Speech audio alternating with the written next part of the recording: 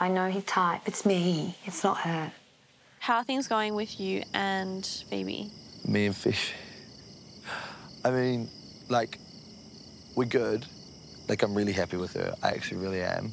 But, like, we got together, like, literally the first day, mm. you know, and, like... you didn't get a chance to like explore your options, No, I suppose. I didn't. I am worried about me having tunnel vision for Phoebe and only Phoebe, but a new chick has come in the villa and she may be more than Phoebe.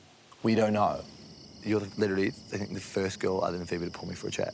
Oh wow. Literally. I respectfully will talk to whoever the f- I want. Yeah, honestly, do it. That's what you're here to do. Yeah. And if you don't, if you just shut yourself off, then you're not going to get anywhere and you're just going to, like, go home with regrets, you know?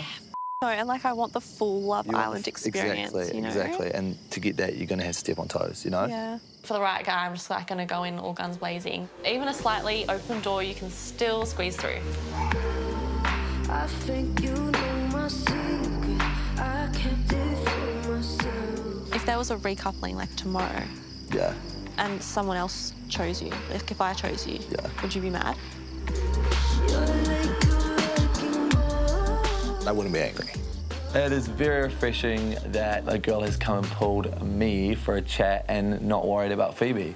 It feels like I'm kind of doing what I came here to do. So you are open. Yeah, open to anything.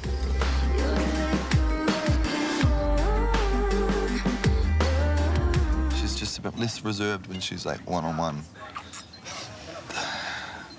She said, um, if I were to choose you in a recoupling, um, would you be angry? And I said, well, I'm really, really happy with Phoebe, but you get to do what you get to do. He does not say that. I did. I really thought honesty was the best policy. We'll talk about it later. Yeah. But yeah, that's really not the case. Are you okay? Oh my god, nah, shut up. Oh, Okay. No, Okay. no, no, no, stop, stop, stop. Okay, okay. Come sit down. Come, come, come. I hate competing with other girls.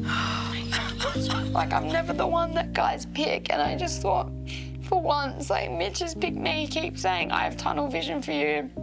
It's you, you, you. I feel like a Just I feel like a idiot. What happened? No, don't. Idiot. You're only going on what, like he said, what you feel. He literally said to me last night in bed, and I said, I get it if you want to get to know other people. And he was like, I'm not going to lie, it's just nice to have attention from another girl and for her to pull me for a chat. I'm like, Oh, what? My gosh. I just feel so stupid. Don't you feel stupid? Don't you feel stupid? Never expected this. And why can't it just be me? Why is there always other girls in the picture? Like, why do boys in general, I feel like they think they need to, like, get with heaps of other girls and talk to other girls to know that you're the one, but they should know that. Like, they shouldn't have to experiment to, like, know that you're what they want.